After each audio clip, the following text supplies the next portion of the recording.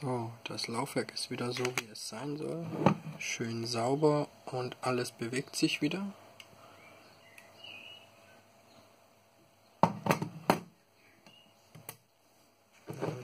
Das konnte man vorher nicht machen. Und jetzt nehmen wir mal eine Diskette. Und es ist drin.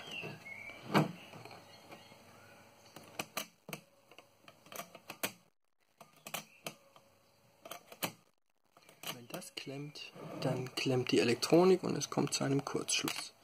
Jetzt ist aber alles wieder wie neu für die nächsten 30 Jahre. Ja. Viel Spaß damit.